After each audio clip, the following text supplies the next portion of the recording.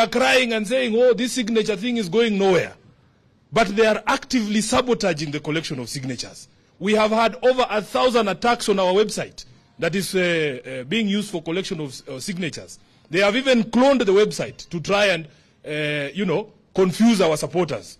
But we are saying Kenyans want to eat, and they want to eat today. It doesn't matter how, how long you cover your ears.